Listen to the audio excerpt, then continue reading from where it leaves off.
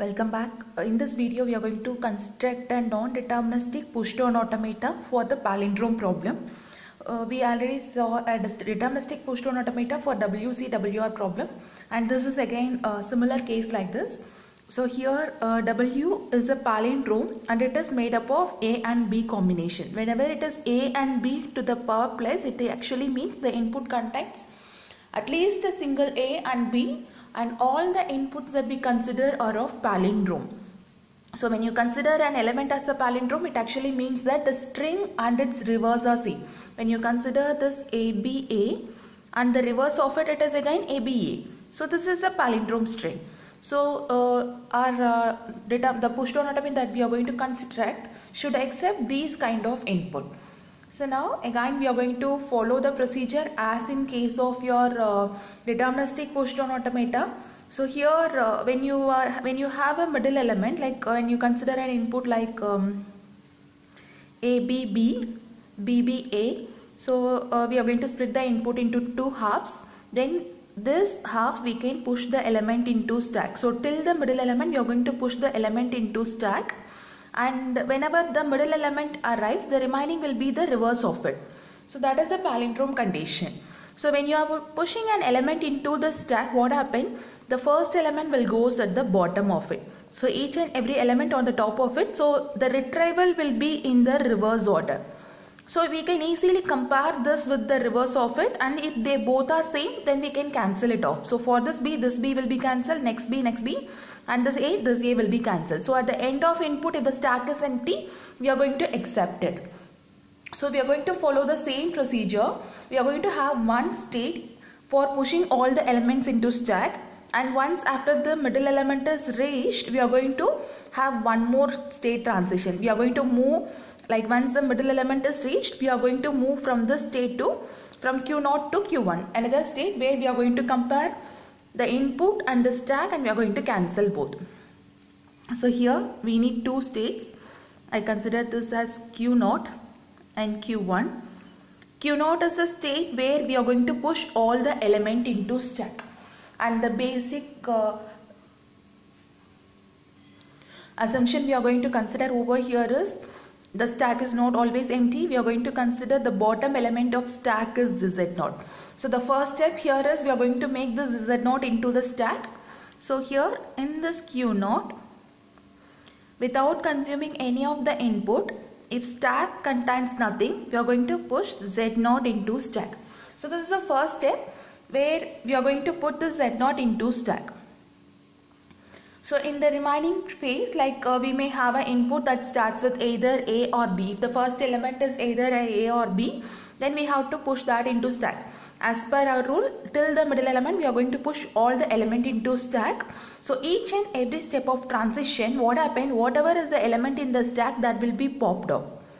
Okay, so first step is we have pushed Z0 into stack. Now stack contains Z0. For the second step of transition, this Z0 in the stack will be popped out. So this is a generalized rule. Always in case of a push down automata, whenever you want to do a transition, one element from the stack will be popped out.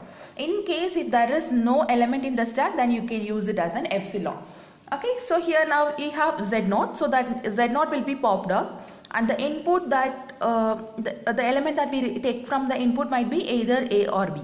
In both the cases what we have to do till the middle element we have to put the element into stack. So first we have to push the Z0 the element that is taken from the stack taken out from the stack back to the stack and again the input element should be placed inside it. It might be either A or B. So we have to write the transition as the input might be either A or B in both the cases we, in stack we have z0. So we have to put a z0 into stack or b z0 into stack. Uh, for each and every step of transition this element from the stack will be popped out. So we are going to replace the z0 along with the input into the stack. So when the input is a put a z0. And the input is b put b z0 into stack. So this is your second step. And for the third step so till the middle element what we have to do we have to put all the element into stack.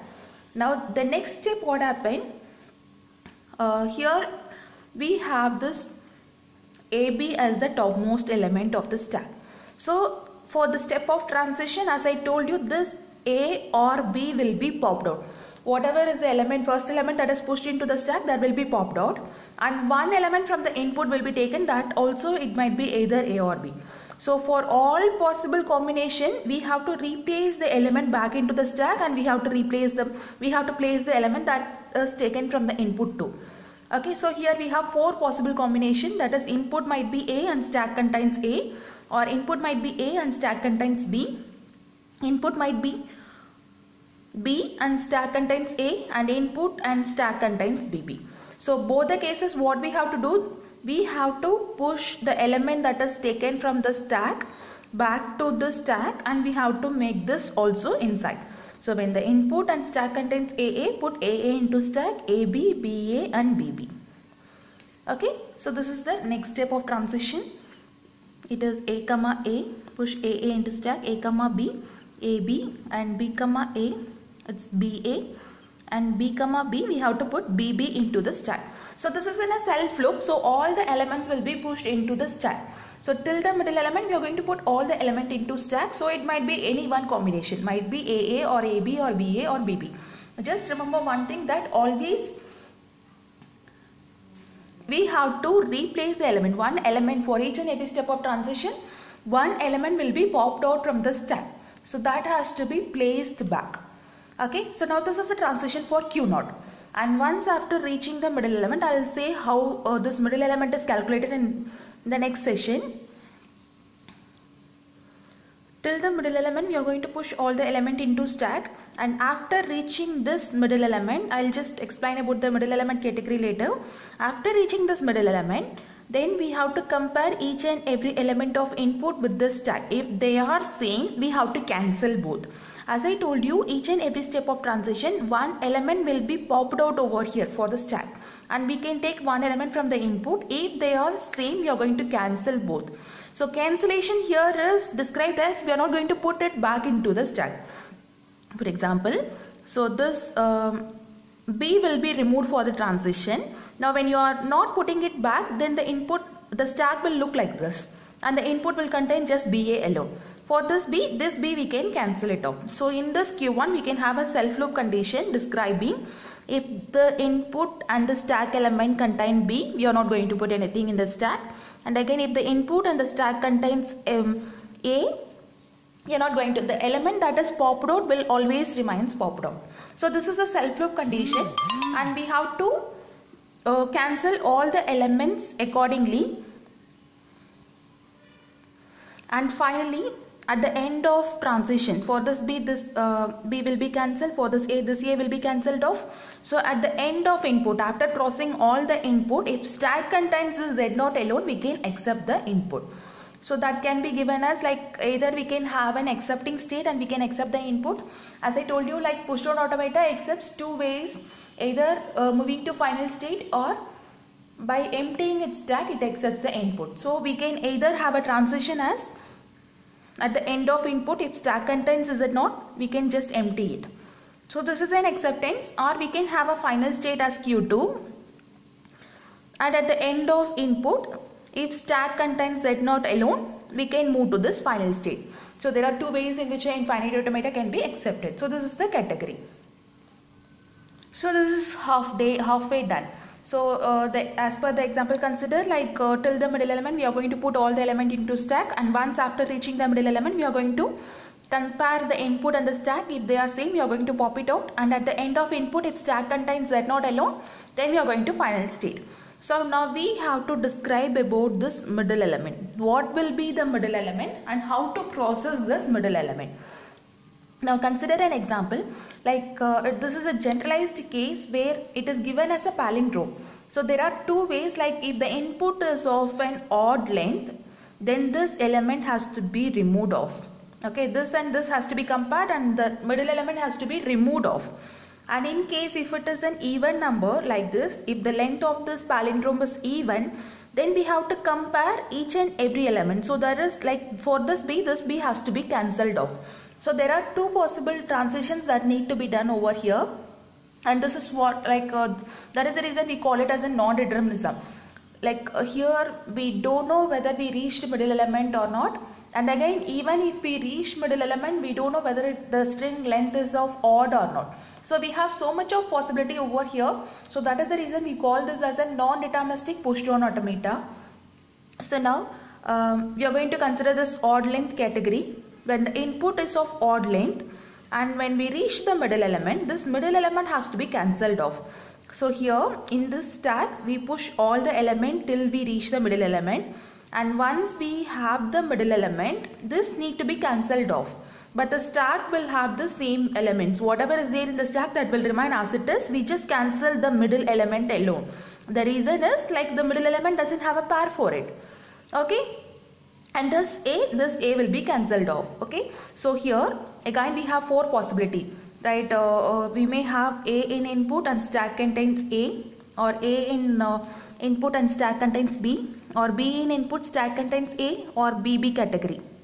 In all the category what we are going to do like for each and every step of transition i told you one element from the stack will be removed off okay so here whatever element is removed from the stack will be placed back and this b will be eliminated okay so we are going to place the element that we have taken from the stack alone over here and the input will be cancelled off we are not going to do any process with the input only thing that we do is we have placed the element that we have taken from the stack back. The reason is this element from the stack has to be compared with the remaining elements. Okay, so this is a case of odd length. What happen if the input contains an even length thing like this A, B, B, A? In this case, like the middle element we have we don't have a single middle element. We have this pair as a middle element. Okay it might be either bb or aa so here when we reach the middle element we have to cancel this middle element over here. So the cancellation step starts from this place itself so whenever it is an even number the middle element is always a pair. It might be either aa or bb in both the cases we are going to cancel it. Okay for this a this a will be cancelled. For this b this b will be cancelled. So we don't push anything into a stack this is a case for an even length palindrome. And there is one more uh, extra category. Here the input is made up of a and b plus. So either a or b will be there in the input. What happen if you have a single a or a single b. Again either a single a or a single b then it is also a palindrome condition right? A string and its reverse are same or c. okay so for the single element we can have the transition as a comma z naught. We can have the transition as z naught or b comma z naught as z naught. Okay when you have only one element in the uh, input when you have only one element in the input then we are going to for this a this uh, like we just leave this a alone. Okay the stack will contain z z naught alone. And this is of odd length right? Similar condition like this whatever is there in the stack that will be placed placed back. And here at the end of input stack contains z naught alone so we accept the input. Okay? So now this is your non-deterministic push down automata in order to explain it better i'll take an example and explain how it works. Now consider the input as aba and the transition always starts from the starting state that is q naught and stack contains epsilon. As the first step I told you when there is uh, nothing in the stack we have to push this z naught into stack. So the input will remain as it is and we just push this z naught into stack. Now this is the first step where in q naught we have a and z naught possibility okay so when input contains a and stack contains z naught there is one possible transition that stays in q naught itself assuming that we haven't reached the middle element we put it back. And one step of transition we can move from q0 to q1 thinking that there is only one element in the input and that is the first uh, the element that we have to cancel off. So there are two possible transition one step we stay in q0 itself and we assume that we haven't reached the middle element so we put this a into step. So input will be ba and we have a z naught over here. And here is a place where we assume that like we have reached the middle element and that and that uh, A is the only element in the input so we go to the state 1 and we cancel this A so we have the input BA and Z naught in this okay so now what happened like in Q1 we have to have both the input uh, and the stack element to be same but here it is different so that this path cannot be proceeded. So we consider only this path and we proceed for the next step. Now again in Q naught we have a B in input and stack contains A. So we have to check for all possible transition transitions over here. So input contains B and stack contains A. So this is one possible transition assuming that we haven't reached the middle element and we have to put it back.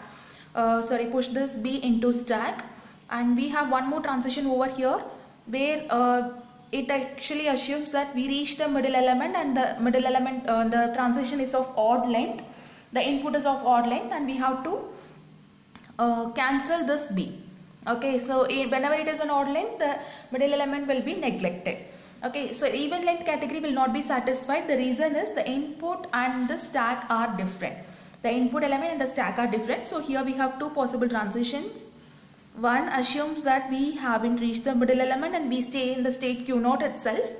And here um, we put this B into stack. So we have B A Z naught in this place. And what happened here? This actually assumes that we reach the middle element and whenever we reach the middle element we have a state change. And this is of odd length so we have to cancel this B. So stack contains, sorry input remaining input is A and stack contains A Z naught. Okay so when you consider this branch what happened in q1 when the input and the stack contain same element we can cancel both. So all the inputs are cancelled off here and uh, stack contains z naught alone. So this is your accepting category category. See in uh, q1 when all the inputs are cancelled off and stack contains z naught alone we are going to accept it. Okay so here we can have the transition as we are moving to the final state by emptying its stack. Okay so this accepts in both the way. Like at the end of input we are in final state and again the stack is also empty. So uh, like a non-deterministic push down automata is like it works in branches. If any one branch goes to accepting state the input is accepted. Similarly you have to proceed for this too but only one branch will go to accepting state and this is the branch that goes to accepting state so this is your non-deterministic push down automata we cannot solve the problem using a deterministic push down automata. This particular correspond uh, uh, deterministic palindrome problem we cannot solve it using a non-deterministic uh, sorry deterministic push down automata. So we say that a non-deterministic push down automata is more powerful than a deterministic push down automata. Thank you.